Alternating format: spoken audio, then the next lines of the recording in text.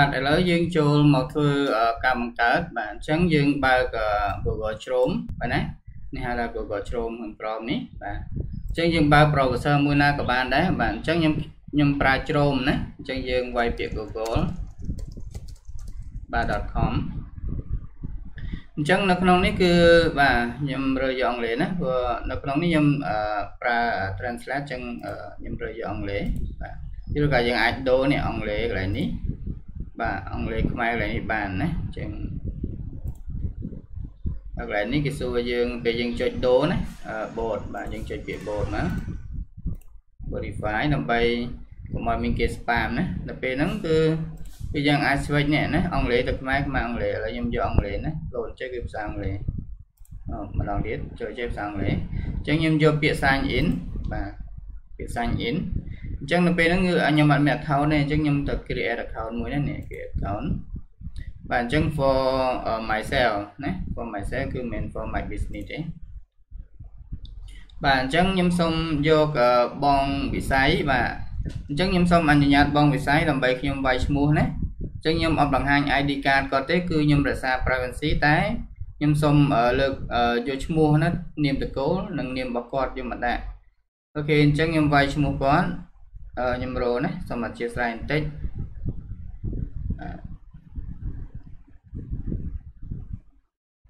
អឺបងវិស័យខ្ញុំមើល ID ណាអញ្ចឹង ID គឺសំណូមពរឲ្យយើងទាំងអស់គ្នាមាន ID ថ្មីយើងអត់យកអា ID ចាស់ទេអញ្ចឹងបើសិន ID យើងចាស់សល់ត្រឹម3ឆ្នាំឬក៏4ឆ្នាំណា ឬក៏ផុតសពលហើយសូមអឺទៅធ្វើឡើងវិញណាធ្វើឡើងវិញប្រហែលជាមួយខែយើងបានហើយតែយើងប្រើឈ្មោះដដែលទេណាយើងអាចចុះឈ្មោះដដែលអញ្ចឹងបងជឿនវិស័យខ្ញុំអឺដាក់នាមបាទ first name គឺវិស័យណា first name គឺឈ្មោះអញ្ចឹងខ្ញុំដាក់ថាវិស័យ V I S A Y ណា V I S A Y ហើយ last name គាត់ជឿន C H O E U N ណាអញ្ចឹងយើងមើលកន្លែងនេះគឺយើងសាកវាយឈ្មោះគាត់ណាខ្ញុំវាយឈ្មោះគាត់អឺវិស័យបាទវិស័យជឿនវិស័យនេះវាយឈ្មោះពេញជឿន C H O E U N V I S A Y ណាជឿនវិស័យបាទ អូខេអញ្ចឹងមើលទៅដូចជាអត់មានទៀតទៀត you use my current email address instead អូខេយើងយើងអឺបាទ username យើងវាយជាងសិនណាហើយយើងវាយ password អញ្ចឹង password បងវិស័យអាចដូរបានណាអញ្ចឹងខ្ញុំគ្រាន់តែអឺបង្ហាញណាហើយនៅពេលដែលបងយកទៅប្រើគឺអឺគឺបងអាចដូរ password ឡើងវិញណាអញ្ចឹងខ្ញុំវាយ L បាទ បាទអូខេ password ចាំខ្ញុំបង្ហាញទៅណាដើម្បីយើងលាក់ password គាត់ទេណាហើយចាំបងរៀបចំដូរម្ដងទៀតណាបាទអឺអូខេខ្ញុំវាយ password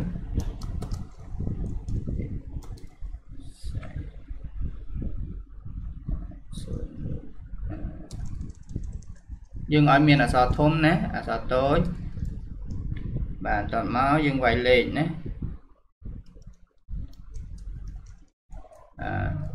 អក្សរធំអក្សរតូចបាទយើងវាយលេខបាទឲ្យដូចគ្នាបាទអញ្ចឹងយើង next មើលសាកល្បងអូខេអញ្ចឹងលេខទូរស័ព្ទគឺខ្ញុំ keep ណា keep keep ចោលបាទខ្ញុំអត់តន់ដាក់ទេអញ្ចឹងបងវិស័យចាំដាក់ណាពពោះការពារ hack គឺព្រោះដោយសារ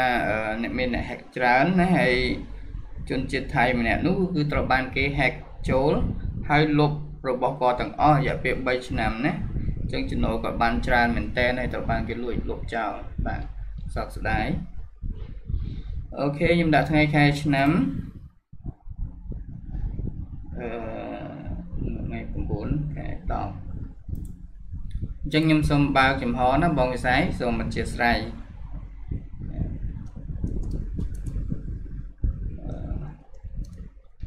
អូខេហើយគាត់ពេលប្រុសបាទអូខេអញ្ចឹងខ្ញុំ next ណាអញ្ចឹងខ្ញុំចំហទូរស័ព្ទហើយនឹងលេខ email ណា recover អឺនៅពេលដែលគេលួច hack យើងគឺគេ hack តាមលេខទូរស័ព្ទយើងណាបើយើងអត់មានដែរហើយគេនឹង hack តាម recover email របស់យើងបើយើងអត់មានដាក់ណាទោះបីយើងចាក់សោផ្សេងក៏ដោយនេះអូខេអញ្ចឹង term នេះយើងគោរពតាមលក្ខខណ្ឌរបស់គេណាបាទ agree បាទដល់ពេលហ្នឹងបងវិស័យគឺគាត់មាន Gmail មួយណា Gmail មួយរួចហើយបាទយើងចូល Gmail របស់គាត់ណាអញ្ចឹងសំខាន់ណាគឺ Gmail ហ្នឹងគឺយើងកុំឲ្យភ្លេច password អីសោះបាទកុំឲ្យភ្លេច password ណាហើយអឺជាមួយនឹងអឺយើងឲ្យទៅអ្នកដតីណាហាមដាច់ខាតហើយ log in ចូលប្រេផ្ដាស់ណានៅក្នុងហៅថា piece piece mail យើងកុំ log in យើងកុំ approve ឲ្យប្រេផ្ដាស់អូខេអញ្ចឹងបងមាន mail មួយណាអញ្ចឹងយើងវាយយើងវាយយើង add ថ្មីមកយើងវាយថាពាក្យ YouTube បាទ .com ណា youtube.com enter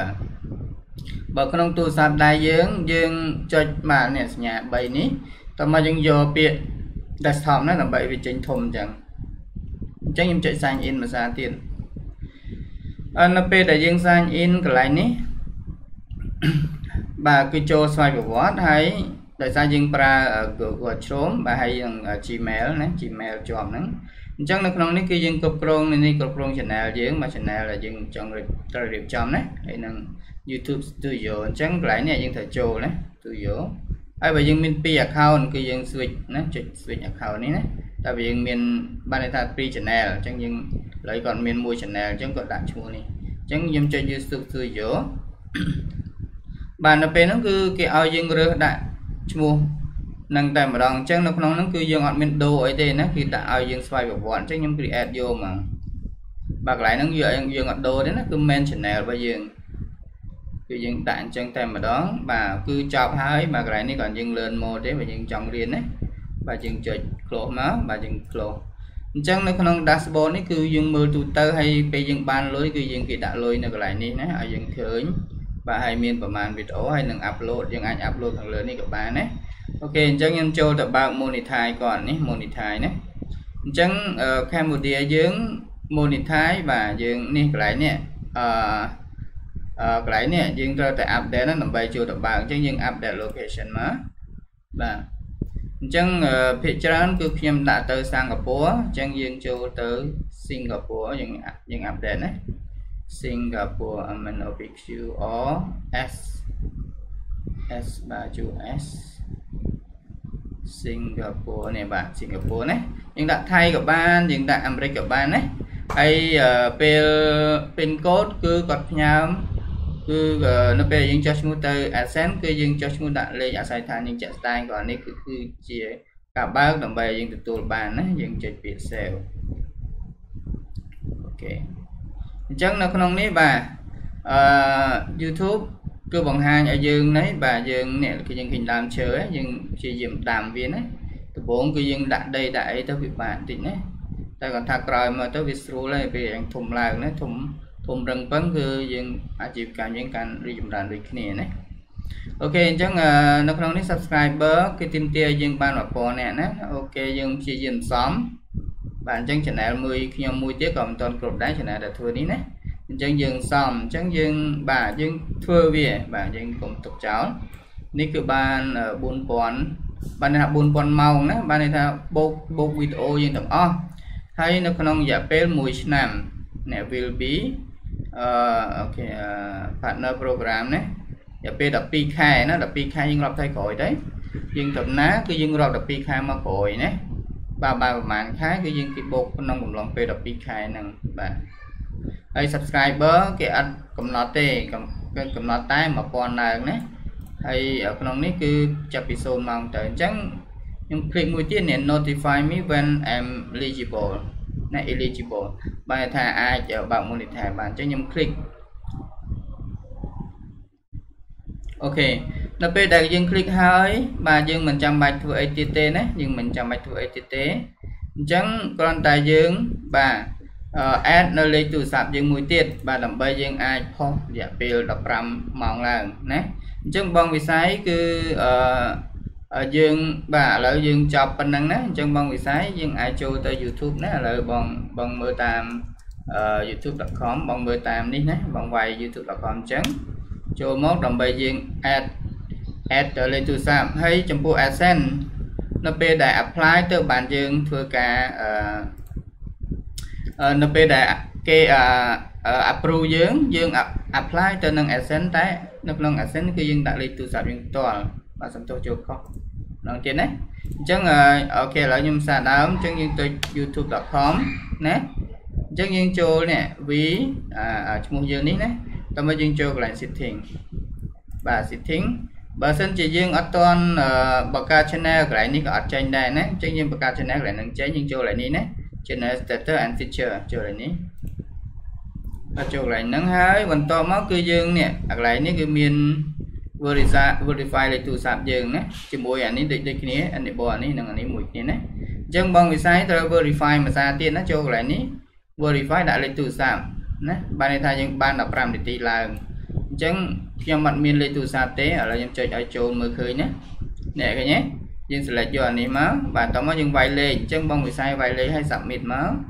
បាទ submit ហើយយើងយើងគេនឹងផ្ញើកូដមកយើងណាផ្ញើកូដហើយបងវិស័យគឺយកកូដហ្នឹងមកវាយចូលបន្ទាប់ទៀតមកគឺយើងប្រើបានហើយណាអូខេអញ្ចឹងកន្លែងនេះគឺខ្ញុំចូលទៅអត់បានដោយសារខ្ញុំអត់មានលេខហើយលេខទូរស័ព្ទអឺយើងប្រើបានបាទយើងយើងយំយើងបើកលុយមួយណា យើងប្រើលេខនោះណាអញ្ចឹងយើងរក្សារបស់យើងឲ្យគង់ណាហើយអ្នកខ្លះក៏គាត់ភាសាផ្លេចលេខអញ្ចឹងខ្ញុំអត់នេះទេគឺយើងព្យាយាមយ៉ាងម៉េចកុំឲ្យបាត់ password យើងហើយនឹងលេខណា អញ្ចឹងកន្លែងនេះ modify យើង enable ហើយហើយណាយើង enable ហើយហើយ eligible ហើយណាបាទអញ្ចឹងបែប eligible ហើយអញ្ចឹងគ្រាន់តែបើយើង click មួយសារទៀតគឺយើងចូលហើយហើយ align steam នេះយើង enable បានលុះត្រាតែយើងត្រឹម1000ណា1000អ្នក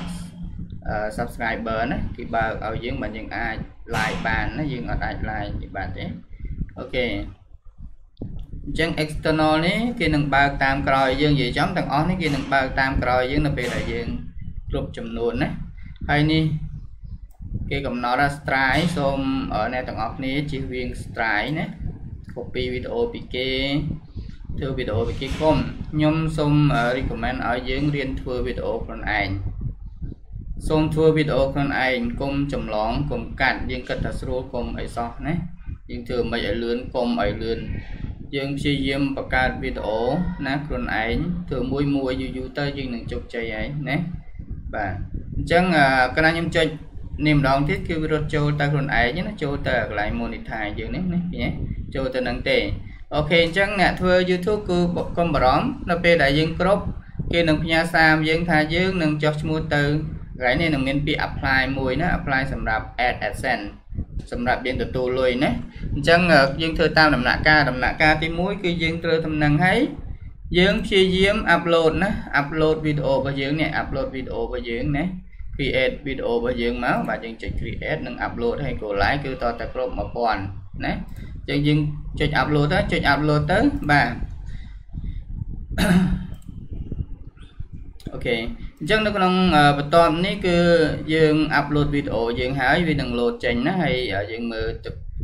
ចំនួនអ្នកមើលអ្នកអីក្នុងហ្នឹងហើយ monetize បាក៏ក្នុងហ្នឹងដែរណាហើយយើងមាន playlist យើងមាន analyze យើងមានមើល comment ណាយើងអាចមើល subtitle monetize យើងបាននៅយើងចុច monetize យើងណាបាទអញ្ចឹងគឺយើងមានកន្លែងគ្រប់គ្រងយើងហើយសំឡេងណាចំពោះសំឡេងគឺយើងយកនៅក្នុងនេះនៅក្នុងនេះណា នៅក្នុងនេះដោយសំឡេងគឺយើងយកតែ attribute អូខេនៅក្នុងនេះអូយក classic អឺ by library គឺ YouTube library term អូខេយើងកត់ it មកណានៅក្នុងនេះដូចជាអត់មានអូខេនេះប្រហែលជា update ថ្មីថ្ងៃហ្នឹងទៀតណាតាមមើលអឺដោយសារទី1យើងត្រូវយក non attribute បើសិនជាមានរូបនេះយើងមើលចុចមើលណា អូខេនេះគេដូរណាគេទំដូរមកជាដូរថ្ងៃហ្នឹងតាមមើលណាមិនសូវមិញខ្ញុំបើកអត់ឃើញបាទគេទំដូរ update ថ្មីនេះនេះនេះ attribute not required ណាកន្លែងនេះយើង filter វាណាយើងចាំកន្លែងនេះអូខេដូមែនចេះណាកន្លែងនេះ attribute not required បើយើងចង់យកអឺ play ណាខ្ញុំសូមផ្ដាំគឺគ្រប់ play គឺអត់យកនៅខាងក្រៅនៃវីដេអូនៅក្នុង YouTube ទេណាគឺយើងយកនៅក្នុងនេះនៅក្នុង studio យើងណាចាំ ខ្ញុំសូមផ្ដាំឲ្យផ្ដាំទៀតថាយើងយកវីដេអូនៅក្នុង YouTube ណាហើយយើងយកពាក្យថានេះ attribute not required យើងคลิกទៅគឺវា short ឲ្យយើងនៅវីដេអូទាំងអស់ហ្នឹងហើយគឺវាមានច្រើនណាមួយនេះមកប្លោះនេះគឺបាន30អញ្ចឹងយើងអាចនិចតទៅទៀតឬក៏យើង search ស្វែងរកណាយើង search នេះមកបាទយើងស្វែងរកអីមកបាទព្រោះដោយសារយើង tick ថា attribute not required ហើយយើង filter ហើយយើង search រក bot play ណាទៀត អូខេយើងដាក់តាមហ្នឹងឬក៏យើង add track mode នេះបន្តទៅទៀតណាយើង add content ស្អីហ្នឹងបាទអឺ gender នេះ rock ស្អីស្អីហ្នឹងគឺយើងអាច search តាមនឹងបានអញ្ចឹងអឺបងវិស័យគឺខ្ញុំរៀបចំហើយអញ្ចឹងទីទៀតគឺខ្ញុំផ្ញើនៅនេះណាដើម្បីបងអាច verify នេះលេខទូរស័ព្ទបន្តទៀតហើយបងចូលទៅដាក់រូបថតណារូបថតខ្លួនយើងណាអញ្ចឹងអ្នកបង្កើតថ្មីខ្ញុំ return ទៅវិញ ហើយសូមយើង head up ទាំងអស់គ្នាយើងកុំប្រើ classic ណាយើងប្រើនៅនេះ studio ថ្មីរបស់គេណា studio ថ្មី beta អូខេហ្នឹងយើងប្រើហ្នឹងណាយើងប្រើចាស់បាទអញ្ចឹងបងអាចចូលទៅដូររូបថតណាហើយខ្ញុំសូមណែនាំនៅពេលដែលយើងធ្វើគឺយើងប្រើរូបថតរបស់យើងទៅណាមុខយើងយើងថតឲ្យស្អាតកន្លែងណាក៏បានដែរបាទដូចខ្ញុំឯងថតខ្ញុំមកតបានដូរបាទញឹមញឹមហ្នឹងគឺមើលទៅវានេះដែរ អូខេអញ្ចឹងយើងបាទចូលយើងដូររូបថតណាយើងដូរនេះចូលទៅបាទបងបងអេតចូលទៅណាបាទអញ្ចឹងបើយើងដូរក្នុងនឹងអត់បានយើងអាចដូរក្នុង Google ទៅណាវីដេអូស្វ័យប្រវត្តិឲ្យយើងឯងបាទទោះមិនយើងដូររូបថតចេញណាដាក់ចូលមកហើយនេះយើងមើល subscriber ណាហើយអឺនៅក្នុងនេះយើងគ្រប់គ្រងយើងអាច analyze វាណា analyze ទៅផ្សេងផ្សេងបាទ វាមាន reach មាន engage audience អីហ្នឹងបាទយើងចូលទៅមើលលេងទៅបាទអញ្ចឹងខ្ញុំសូមបញ្ចប់ត្រឹមហ្នឹងហើយអឺត្រង់ចំណុចនេះគឺយើងបាច់បារម្ភទេថាយើងនឹង apply Google AdSense បាទអញ្ចឹងនៅពេលដែលយើងគ្រប់លក្ខខណ្ឌគេគឺ Google AdSense ឲ្យយើង add ណាដើម្បីយើងធ្វើតាមជំហានមួយទៀតគឺយើង add ជួយ Google AdSense គឺយើងធ្វើតាមជំហានណាអញ្ចឹង Google AdSense បានខ្ញុំនិយាយខាងក្រោយបើកញ្ចក់ Google AdSense គឺយើងដាក់លេខទូរស័ព្ទដាក់អាស័យដ្ឋានអីយើងដូចនៅក្នុងប្រទេសកម្ពុជាមាន postal code អីហ្នឹងហើយសម្រាប់ postal code គឺយើងរកនៅក្នុង Google យើងមានណានៅក្នុងតំបន់យើងតែ postal code លេខប្រមាណអីប្រមាណបាទយើងអាចរៀបចំធ្វើនៅក្នុងរបស់យើងតែម្ដងបាទអញ្ចឹងពេលយើងធ្វើបាទហើយមានចម្ងល់អាចចូលរួមនៅក្នុង group ណា group អឺ ចុងផុសខ្ញុំដាក់លក្ខណៈចុងផុសណាគឺចុងផុសហ្នឹងគឺយើងអាច promote channel យើងនៅក្នុងហ្នឹងហើយយើងចូលរួមបាទទាំងអស់គ្នាណាហើយខ្ញុំ share link group ហ្នឹងចូលមកណាហើយអឺហើយអាចស្វែងរកឈ្មោះខ្ញុំមួងបារាំងនៅក្នុងអឺ Facebook ណាបានដើម្បីខ្ញុំ add ចូល group និយាយចំទៅសម្រាប់តែអ្នកដែលគាត់ចង់ធ្វើ YouTube តែប៉ុណ្ណោះ ណាហើយអ្នកគាត់ចង់ធ្វើ YouTube ហើយទទួលបានលុយនៅក្នុង YouTube តែប៉ុណ្ណោះអ្នកដែលគ្មានបំណងនឹងចង់សូមសូមកុំកុំចូលណាបាទដើម្បីកុំឲ្យអឺអឺព្រោះអញ្ចឹងនៅក្នុងនេះគឺខ្ញុំចង់បានតែអ្នកគាត់ធ្វើតែប៉ុណ្ណោះណាហើយអ្នកដែលហ៊ានធ្វើមិនហ៊ានធ្វើអ្វីទេគឺធ្វើវីដេអូថតវីដេអូណាហើយអ្នកដែលគាត់មានបំណងចូលរួមគឺចូលរួមទាំងអស់គ្នាណា ហើយកុំភ្លេច subscribe channel ខ្ញុំមួយនេះផងបាទ KH Brand TV ហើយនឹងមួងម៉ារាំងបាទយើងវាយពាក្យពេញអញ្ចឹងមកបាទមួងម៉ារាំងបាទបាទអញ្ចឹងខ្ញុំថ្ងៃនេះចុះឈ្មោះមានប៉ុណ្ណឹងណាហើយបងប្អូនបាទរៀនបង្កើតណាតាមខ្ញុំ step by step មកណាបាទអញ្ចឹងសូមអរគុណបាទសូមជម្រាបលាបាទបាយបាយ